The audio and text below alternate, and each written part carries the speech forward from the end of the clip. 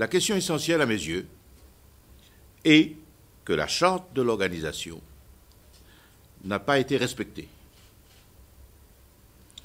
et que le nouveau secrétaire général a été désigné et imposé par une entente diplomatique entre la France et le Sénégal. Elle la trahison de Dakar.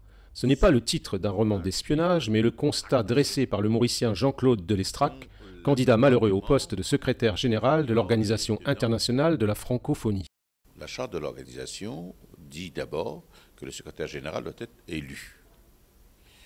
Et il y avait cinq candidats, il n'y avait qu'un seul moyen de trancher, c'est de permettre à une élection bonne ou due forme de se tenir. Cela est possible, cela est prévu. La charte, c'est l'article 6 de la charte de l'organisation.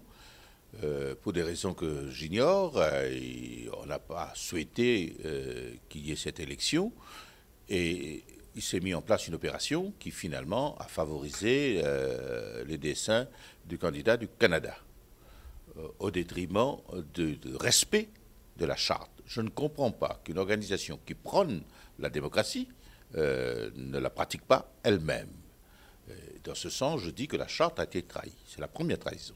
Deuxièmement, euh, depuis le sommet de Hanoï, quand le poste de secrétaire général a été créé, s'est mis en place ce que les Africains eux-mêmes appellent le pacte de Hanoï, qui veut que puisque le siège de l'organisation est à Paris, puisque les programmes sont généralement gérés par les pays euh, du Nord, le poste de secrétaire général doit aller à un représentant ou une représentante du Sud, un Africain s'entend. Cela a été euh, respecté jusqu'à maintenant, et pour la première fois de son histoire, au pays de Sangor, créateur, fondateur de, de l'organisation passe à l'Amérique du Nord. Jean-Claude de Lestrac n'a rien à reprocher à la Canadienne Michael Jean, qui a finalement été choisie mais il regrette que Maurice ait été privé de ses chances, bien réelles selon lui. De l'avis de tous, on avait le meilleur programme, euh, on avait un bon candidat, on n'avait pas les, boulets que, d'autres euh, traînaient, peut-être.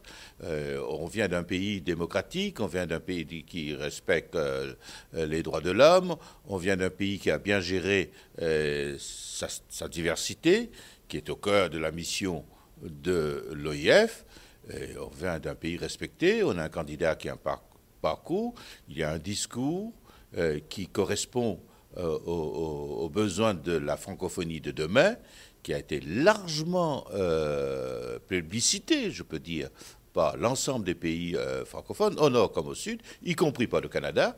On avait donc toutes les chances. L'actuel secrétaire général de la Commission de l'océan Indien, écrivain à ses heures, annonce en forme de boutade le titre de son prochain livre, L'ambition mauricienne, le paradoxe sénégalais, l'erreur française.